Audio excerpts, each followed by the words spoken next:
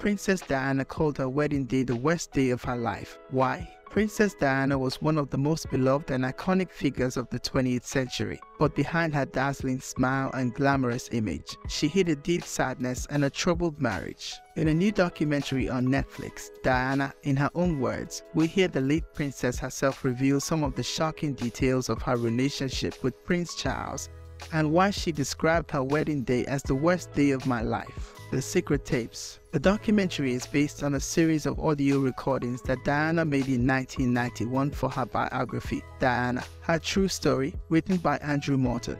The tapes were recorded by a friend of Diana, who passed them on to Morton without revealing her identity. The author only admitted that Diana was his source after her tragic death in 1997. In the tapes, Diana speaks candidly and emotionally about her life in the royal family, her struggles with bulimia and depression, and her suspicions and confrontations with Camilla Parker Bowles, the woman who would later become Charles' second wife. The doubts before the wedding. One of the most shocking revelations in the documentary is that Diana had serious doubts about marrying Charles even before their fairy tale wedding at St. Paul's Cathedral on July 29, 1981.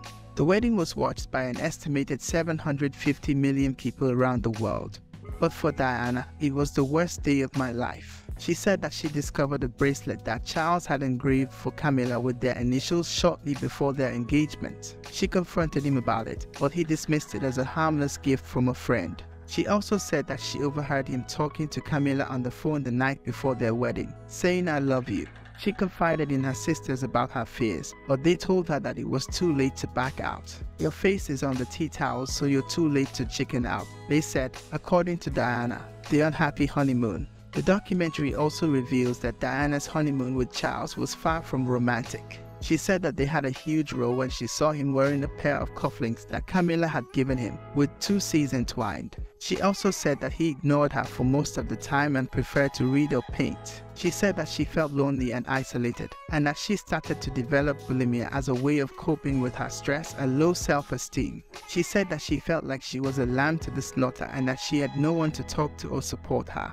The Aftermath. The documentary shows how Diana gradually found her voice and confidence as a public figure and a humanitarian, despite the constant media scrutiny and the breakdown of her marriage. She said that she realized that she had to adapt to her role as a princess and stop fighting it. She also said that she wanted to use her fame and influence for good causes, such as raising awareness about AIDS, landmines, and homelessness. She also spoke about how she tried to be a good mother to her sons, Prince William and Prince Harry, and how she wanted them to have a normal childhood as much as possible. She said that she hoped that they would grow up to be compassionate and caring people who would make a difference in the world. The documentary ends with Diana's tragic death in a car crash in Paris on August 31, 1997, which shocked and saddened millions of people around the world. She was only 36 years old. Diana, in her own words, is a powerful and poignant portrait of a woman who was loved by many but understood by few.